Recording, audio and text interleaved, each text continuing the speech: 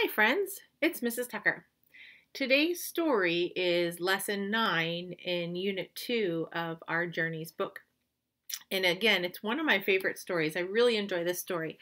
This one is called How Chipmunk Got His Stripes, and it's by Joseph Bruchac and James Bruchac. And I'll talk about who they are in just a little bit. Our illustrations are by Jose Aguero and uh, um, Ariane Dewey.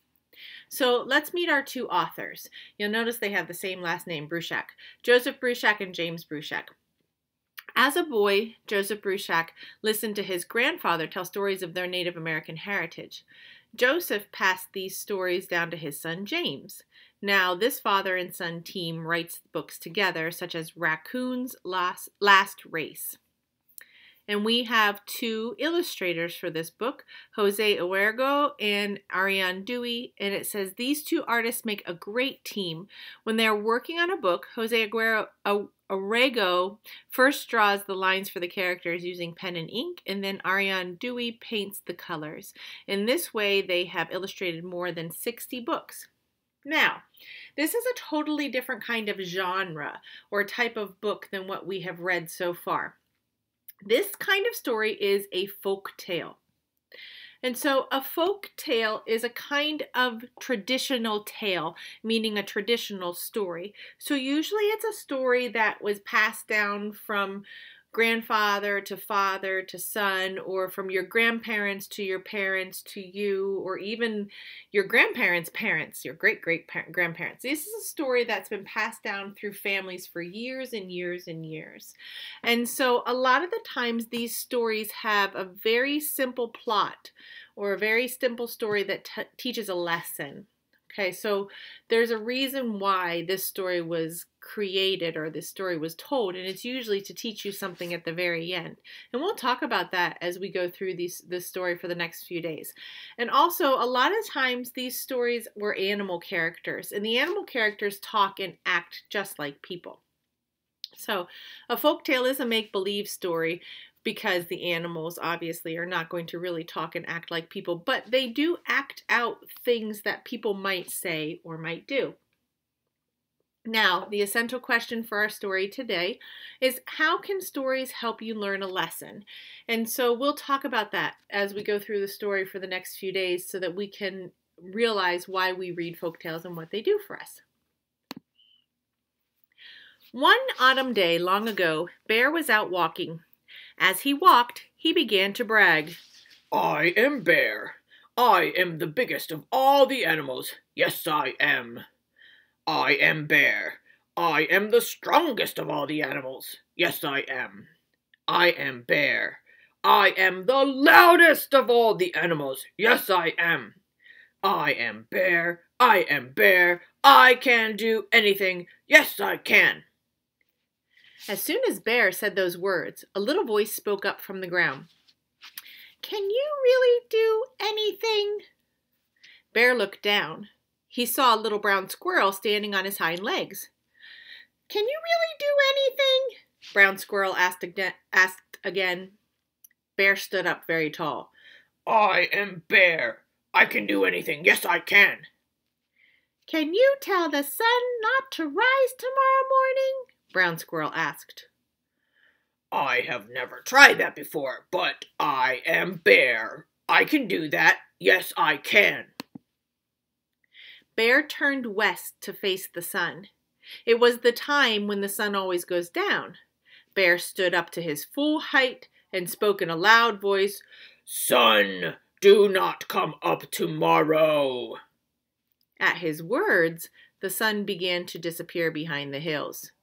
You see, Bear said, Sun is afraid of me. He is running away.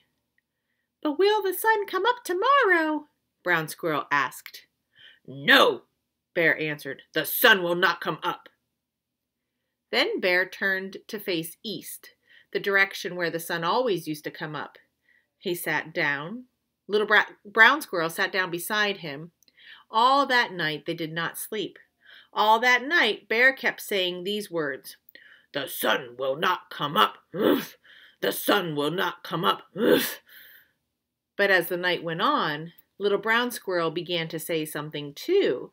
He said these words The sun is going to rise, ooh! The sun is going to rise, ooh! All through the night they sat there. One by one, other animals gathered around them fox and wolf, deer and moose, rabbit and porcupine, hawk and owl, otter and beaver, frog and turtle, and even little mice came. They wanted to see who would be right, bear or brown squirrel. This is what the other animals heard. The sun will not come up. Oof. The sun is going to rise. Ooh. The sun will not come up. Oof. The sun is going to rise. Ooh.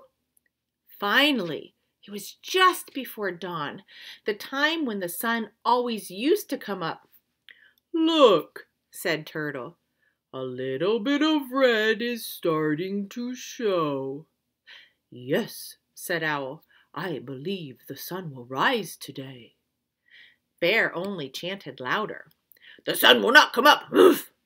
But right next to him, Little Brown Squirrel piped up, The sun is going to rise. Oh! And the sun came up. The birds sang their welcoming songs. The bright light of the new day spread over the land. Everyone was happy except for one animal. That animal was Bear. He sat there with his head down and a grumpy look on his face. The happiest animal of all was Little Brown Squirrel. The sun came up, he chirped. The sun came up, the sun came up, the sun came up. Brown Squirrel was so happy he forgot what his wise old grandmother had told him when he was very young.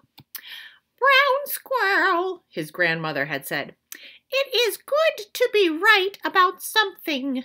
But when someone else is wrong, it is not a good idea to tease him. Now, little brown squirrel began to tease Bear. Bear is foolish, the sun came up. Bear is silly, the sun came up. Bear is stupid, the sun. Whoomp! Bear's big paw came down on little brown squirrel, pinning him to the ground. Bear leaned over and opened his huge mouth. Yes, Bear growled. The sun did come up. Yes, I do look foolish, but you will not live to see another sunrise. You will not ever tease anyone else again because I, Bear, am going to eat you. Brown Squirrel thought fast. You are right to eat me, he said. I was wrong to tease you. I would like to say I am sorry before you eat me, but you are pressing down on me so hard that I cannot say anything. I cannot say anything at all. I cannot even breathe. If you would lift up your paw just a little bit, then I could take a deep breath and apologize before you eat me. That is a good idea, Bear said. I would like to hear you apologize before I eat you. So Bear lifted up his paw. But instead of apologizing, Brown Squirrel ran. He ran as fast as he could toward the pile of stones where he had his home. He had a tunnel under those stones and a nice warm burrow underground. Little Brown Squirrel's grandmother stood there in the door waiting for him. Hurry, Brown Squirrel, she called. Hurry, hurry. Little Brown Squirrel dove for the door to his home, but Bear was faster than he looked. He grabbed for Little Brown Squirrel with his big his big paw. Bear's long sharp claws scratched Brown Squirrel's back from the top of his head to the tip of his tail. But Brown Squirrel got away. Deep down in his burrow, where Bear couldn't get him, Brown Squirrel curled up next to his grandmother and slept all winter while those scratches on his back healed. When spring came again, Little Brown Squirrel came out of his hole and looked at himself. There were long, pale stripes all the way down his back where Bear had scratched him. He was Brown Squirrel no longer. He was now Chipmunk, the striped one. That is how Chipmunk got his stripes. Ever since then, Chipmunk has been the first animal to get up every morning. As the sun rises, he scoots to the top of the tallest tree to sing his song. The sun came up, the sun came up, the sun came up, the sun came up. And ever since then, Bear has been the last animal to get up. He doesn't like to hear Chipmunk's song. It reminds him, as it reminds us all, that no one, not even Bear, can do everything.